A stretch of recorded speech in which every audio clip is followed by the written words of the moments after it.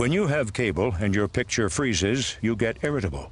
When you get irritable, your work suffers. When your work suffers, the wrong man is convicted. When the wrong man is convicted, he has time to think. When he has time to think, he thinks about you a lot. And when he thinks about you a lot, your house explodes. Don't have your house explode. Get rid of cable and upgrade to DirecTV. Don't just watch TV, DirecTV.